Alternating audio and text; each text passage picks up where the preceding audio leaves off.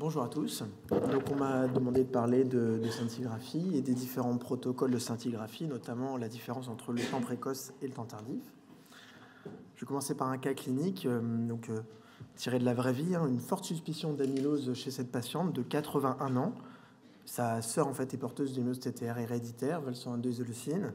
Elle est elle-même porteuse du variant et l'année dernière, comme par hasard, elle a fait un BAV de haut degré avec un pacemaker qui a été posé. On lui découvre une cardiopathie hypertrophique assez évocatrice hein, sur les paramètres échos et elle a une BGSA qui est faite, qui est négative. Je vous montre la scintigraphie qui avait été faite à l'époque chez cette patiente. Alors, euh, elle avait eu simplement une scintigraphie au HMDP à 10 minutes, donc temps précoce, une face antérieure, face postérieure, je ne vous ai pas mis la face postérieure, et elle avait été rendue négative. Vous voyez qu'on voit effectivement un brouhaha sur l'air cardiaque et sur les gros vaisseaux euh, du médiastin. On ne dessine pas le cœur, il n'y avait pas de spec, il n'y avait pas de temps tardif. Ça, c'était la vraie vie, bien sûr. Hein. Et donc, on ne s'est pas contenté de ça, compte tenu de la suspicion clinique très forte. On a directement été à la biopsie cardiaque. Et puis, évidemment, cette patiente, elle avait une amylose euh, TTR héréditaire, val de isoleucine, comme sa sœur. on s'est dit quand même, c'est bizarre. Donc, on a refait la scintigraphie, mais cette fois-ci, on a changé de traceur. On a fait du DPD. Donc, euh, je vous ai mis la même image en DPD à 10 minutes, un temps précoce. Et euh, globalement, vous voyez qu'on a une image relativement similaire entre le DPD et le HMDP, alors que en SPECT, toujours au temps précoce, à 10 minutes, il n'y a pas tellement de discussion. Il y a une fixation qu'on voit très très bien sur le, myocarde au niveau des segments basaux. Et je vous ai mis ici le temps tardif, euh, enfin, quand même le plus classique et que vous avez peut-être plus l'habitude de lire, à, à, 3 heures le DPD, donc positif au temps tardif, et le SPECT avec les mêmes images de SPECT à 3 heures qu'à 10 minutes. Euh, donc, euh, cette patiente, je pense qu'elle est intéressante parce qu'elle fait poser quelques questions sur les techniques et les protocoles de scintigraphie. Alors, première question, euh, est, enfin, est-ce qu'il faut faire du temps précoce? Est-ce qu'il faut faire du temps tardif? Deuxième question, quel traceur il faut utiliser? Et troisième question, est-ce qu'il faut faire du SPECT ou est-ce qu'il faut se contenter d'un corps entier? Euh, donc pour répondre à la première question, euh, donc, je vous ai mis un, ça c'était un, papier qu'on avait publié il y a quelques années sur le temps précoce. Et vous voyez donc une scintigraphie osseuse HMDP temps tardif, corps entier à gauche, le spectre à droite. Et vous voyez ici le temps précoce sur le même patient, donc c'est-à-dire 2h50 euh, avant la, première acquisition. Et globalement, on a les résultats qui sont exactement les mêmes. On dessine très très bien, euh, voyez, le myocarde, on le voit très bien sur le corps entier et encore mieux sur le spectre. Malheureusement, on ne peut pas, euh, bien sûr, quantifier la, fixation du myocarde au temps précoce, et puisqu'on ne peut pas se rapporter à l'os, hein, on ne voit pas l'os, bien entendu, au temps précoce. Et on avait rapporté le ratio donc cœur sur médiastin, donc une ROI sur le cœur et sur les gros vaisseaux, et euh, ça permet, on va dire, de quantifier, d'approcher euh, le, score de Perugini, on va dire, pour essayer d'aider au, typage des amyloses. Ce qu'on avait montré, c'est qu'il y avait une excellente corrélation entre le temps précoce et le temps tardif. Vous voyez la, fixation du myocarde temps précoce, temps tardif. Et euh, on pouvait être discriminant pour le typage des amyloses. Avec, on avait décrit donc le ratio cœur sur médiastin supérieur à 1,21, qui était très sensible et très spécifique pour le diagnostic. Il y a un papier beaucoup plus récent qui euh, s'est intéressé, finalement, on fait du, temps à 3 heures parce que c'est ce qu'on fait en scintigraphie osseuse. Mais finalement, l'os, euh, on s'en fiche. Nous, ce qu'on veut, c'est les dépôts d'amylose. On fait une scintigraphie osseuse pour rechercher des dépôts d'amylose, pas pour l'os. Et donc, euh, ils sont intéressés, en tout cas, à regarder en fonction du temps, à quel moment la fixation des dépôts amyloïdes va apparaître.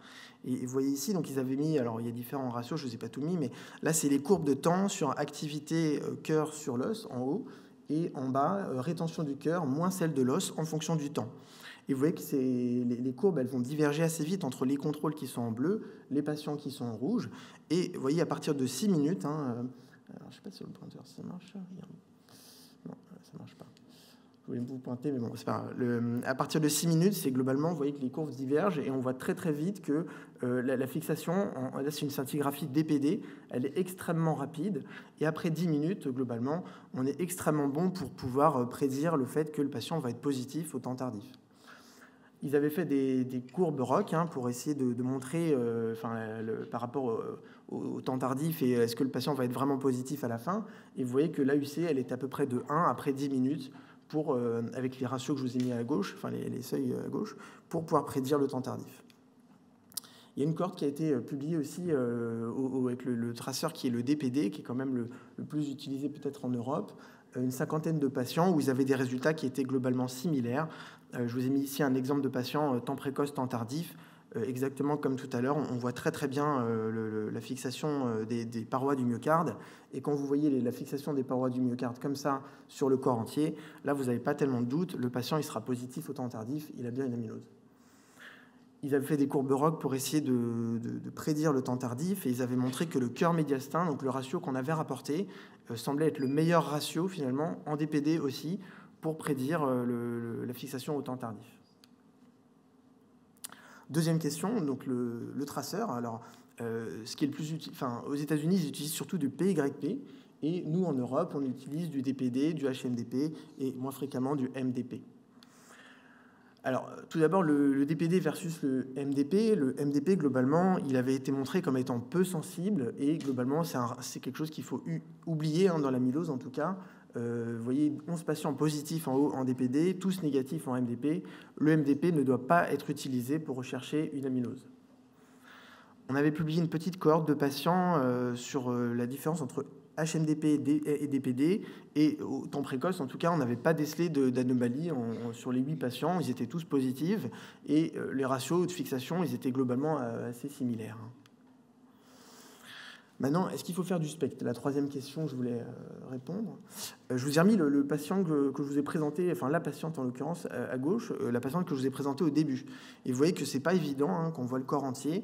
Euh, de dire bon, je, suis complètement affirmatif, la patiente a une, amylose cardiaque, alors que sur le spectre, encore une fois, on peut conclure. Et donc, pour éviter les, faux positifs et les faux négatifs, moi, je vous encourage à faire vraiment du spectre systématique.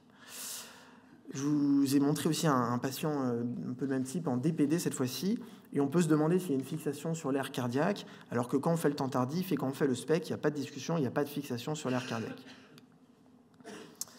Un dernier exemple de patient, cette fois-ci au temps tardif, donc ce que vous avez peut-être plus l'habitude de voir, c'est du PYP au temps tardif. Et vous voyez qu'il y a une fixation cardiaque euh, sur le patient en, scintigraphie osseuse temps tardif. Donc, euh, bon, bah, la scintille est positive, le patient il a du tafamidis, etc. Et puis en fait, on fait du spectre, et puis en fait, le patient n'a juste pas d'amylose. Euh, en fait, c'est du pool sanguin résiduel qui persiste malgré 3 heures. Et, et donc, ça peut arriver d'avoir des scintigraphies faussement positives au temps tardif. Euh, surtout avec du, le PYP. Voilà, donc euh, mes conclusions, euh, temps précoce, temps tardif, il n'y a pas vraiment de différence pour le diagnostic, le typage. Il faut utiliser le corps sur médiastin, ça semble être le meilleur ratio. bon, bah, faut quand même penser que temps précoce, c'est 10 minutes en salle d'attente versus 3 heures quand même, chez des patients qui sont agiles, âgés et fragiles.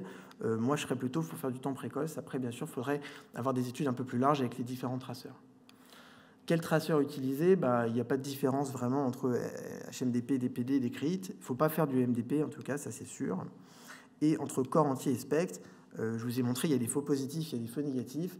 Euh, moi, je pense qu'il faut faire du spectre de façon systématique. Voilà, je vous remercie de votre attention.